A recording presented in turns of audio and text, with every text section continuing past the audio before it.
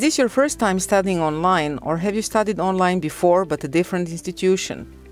Are you interested in Diplo's online courses and programs but are not sure what will be expected of you to successfully complete the course?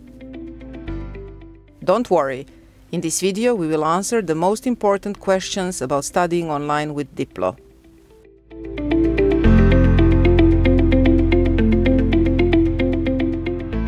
You study with a small group of 15 to 30 participants from around the world over a period of 6 to 10 weeks. Course materials are uploaded to an online classroom and all communication with lecturers and classmates is also conducted there.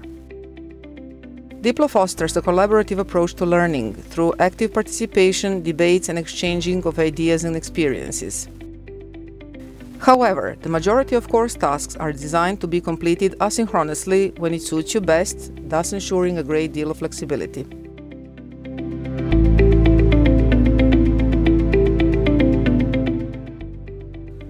Our courses require active participation, reading text critically, expressing your views, and discussing course topics from different perspectives. Memorization and passive recall are not important aspects of our coursework. Although physically far apart, participants often develop lively online communication and a sense of group or community. This can be very rewarding and help maintain your motivation through the challenging course moments. You will need to be focused and well organized.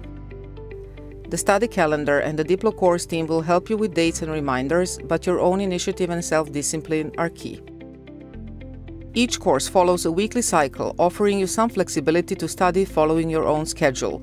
Courses typically involve only one online meeting per week, where all participants get together at the same time.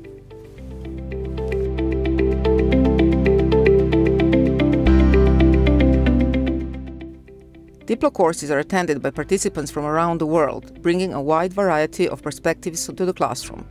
Please keep an open mind towards views that may be very different from your own. While lecturers guide the class through the subject, your initiative and critical thinking are always encouraged. Do not hesitate to ask questions or express different points of view from these presented in the course materials after reading them carefully. Log in your online classroom regularly and allocate enough time for your studies. Do not leave coursework for the last moment. Make sure to have regular and steady internet access, broadband is preferred, but also a backup plan for emergencies such as computer failure or lack of internet connection.